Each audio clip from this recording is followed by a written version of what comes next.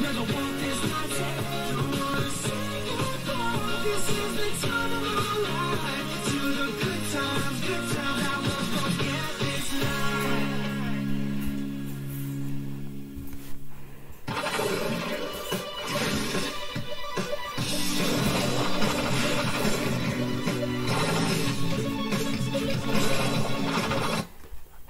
program is available in described video for the visually impaired.